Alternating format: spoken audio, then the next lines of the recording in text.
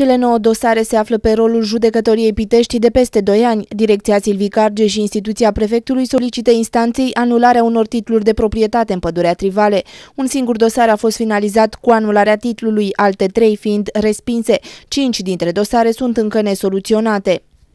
Dezamăgit de modul în care instanța, și mă refer la judecătoria Pitești, tratează aceste procese, în primul rând prin indiferență și în al doilea rând prin respingerea acestor acțiuni de solicitare de anulare a titlurilor de proprietate eliberate ilegal din punctul de vedere al direcției silvice, pentru că pe vremea când am inițiat aceste acțiuni, eram directorul direcției silvice, faceți un calcul sumar și peste câteva zile fac un an și o luni de când mă aflu în instituția prefectului, deci aceste procese au cel puțin doi ani. Situația l-a făcut pe prefectul de Argeș să acuze judecătorii că practic sprijină mătrășirea pădurii trivale, intenția sa fiind de a sesiza aceste aspecte și Ministrului Justiției.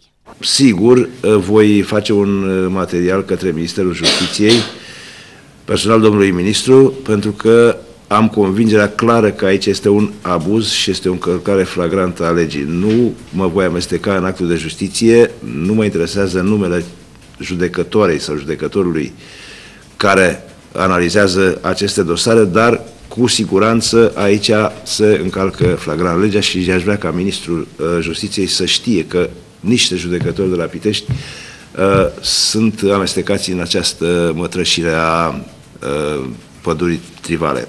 Prefectul de Argeș spune că în două săptămâni va ajunge pe masa guvernului dosarul pentru declararea pădurii trivale arie protejată. Odată ce se va întâmpla acest lucru, defrișarea sau amplasarea de construcții în pădurea trivale va fi interzisă.